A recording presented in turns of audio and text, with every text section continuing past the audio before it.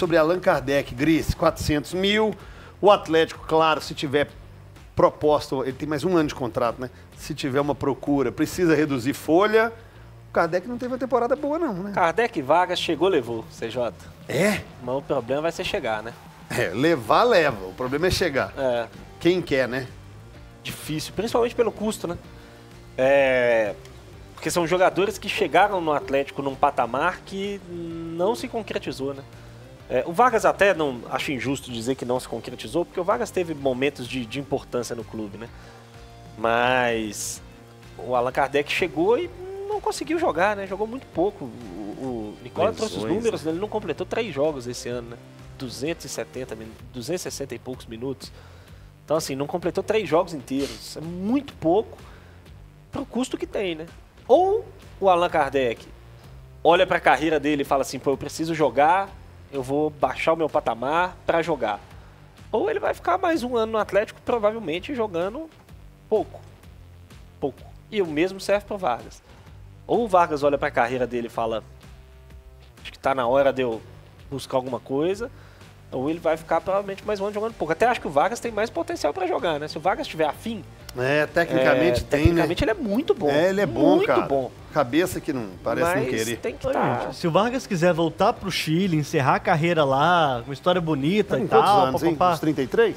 Vamos ver aqui. Acho que não tem isso tudo não, gente. Ah, Vocês já estão tem, querendo pô. aposentar o Vargas? É, não, aposentar Aposentar não. não, mas ele mostra que tá mais pra lá do que pra cá. Pelo menos o que ele quer.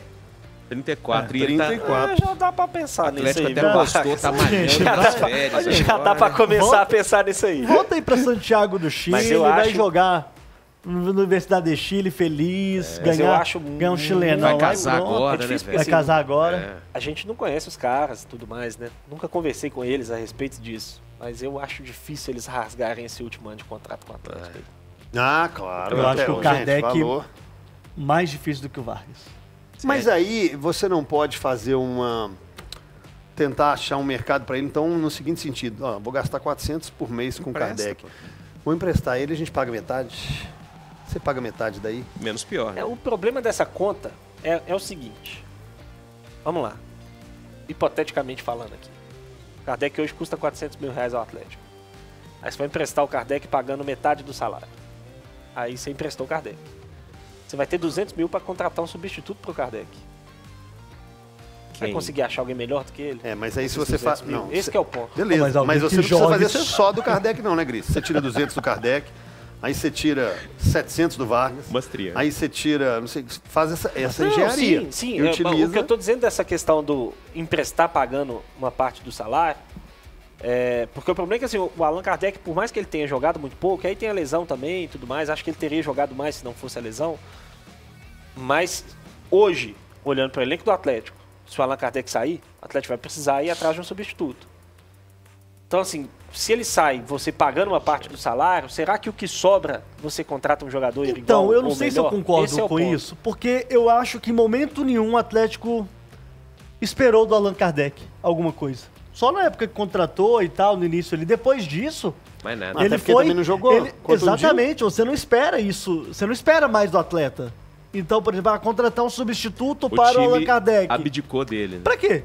Não, vai precisar. Não, vai precisar. É. Mas não tá usando não tem- o que mas tá não aí. tem- mas não tem um Não tá usando o atacante. que Ou tá se não, coloca a É o base lá, Atlético né? esse ano, esse ano assim, é, é- se a gente for pegar, cara, o número de jogos que fizeram Hulk e Paulinho Foi absurdo. é um negócio absurdo. assustador. É, assustador. Eles jogaram todos os jogos, eles raramente são substituídos, os Assustador. dois. Normalmente um ou outro que sai dos jogos. Lesão, né, velho? É, eles não tiveram lesão, não tiveram suspensão, não tiveram nada. Mas você não pode montar um elenco contando que de novo eles vão conseguir jogar todos os Claro, jogos no ano que vem. Claro. Então, assim, se você tem, por exemplo, hoje uma lesão do Hulk, o substituto meio natural é o Kardec. Ou do Paulinho. Olha o Vargas aí, ó. Podia ser. Mas aí VAR, é que né? tá. Mas Não é. Não quer. Não é o Kardec. Não foi o Kardec ao longo Poderia da ser o temporada. Vargas, mas e aí? É, esse é o ponto que eu tô querendo chegar. O Kard... Gente, o Kardec ele não foi utilizado. Vamos falar claro aqui pro torcedor. A gente quer um substituto para um cara que não foi utilizado? Ah, mas também não foi utilizado. Olha Não, só, calma, calma, tô- vamos lá. Você falou que não foi utilizado, beleza. Ele não foi utilizado porque o Cudê não gostava desse estilo de jogador. Ele não foi utilizado porque teve mudança de treinador e ele estava contundido. E aí depois chegou e com sem ritmo, não foi utilizado. Ele não foi utilizado porque ele não estava no mesmo nível físico e técnico. Mas são várias CJ, perguntas. mas É tudo que são bem, várias mas, perguntas, mas não tem no, uma no resposta. fim, não, são não- não interessa muito, ele não foi utilizado. Não, não. No- Então- a- o, o- o resultado final é, ele não foi utilizado. E eu tô aqui com, com dados que, que meio que me assustam, assim. É, quando ele entra em campo, ele já entra normalmente na parte final do jogo. É aos 84, aos 87, aos 90, É pra aos chover as bolas na 90, área, aos 86. Não faz diferença nenhuma, sabe? Então, assim... É que ele não começou, Ou então. seja, foi- desses minutos que ele teve, desses 270 minutos que ele teve, ele foi muito picado. Não teve quase que nenhum jogo completo. mais um motivo para a gente não cravar, porque já que a gente não tem observado, que, que a gente mais pede? Ou o treinador mais pede, Mas ou CJ, o jogador mais pede. a é gente sequência? não tá, mas a gente Ele não, não tá, sequência. a gente não tá observando, mas alguém tá. Se ele não foi utilizado, o Atlético não ia rasgar 400 mil reais Beleza. à então toa, aí, não. aí é quem observou que é o que errou, então. Não, que E errou quem trouxe? quê? Não, observou antes, né? Mas antes foi um erro.